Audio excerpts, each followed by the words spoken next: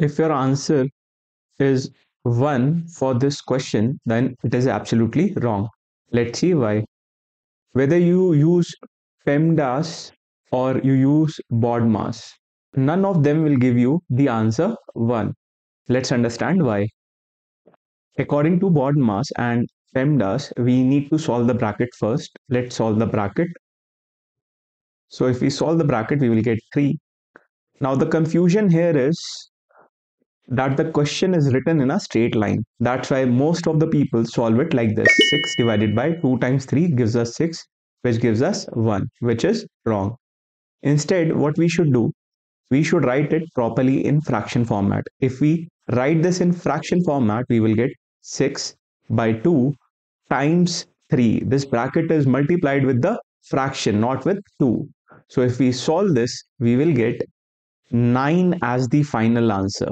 This will be a final answer, not 1.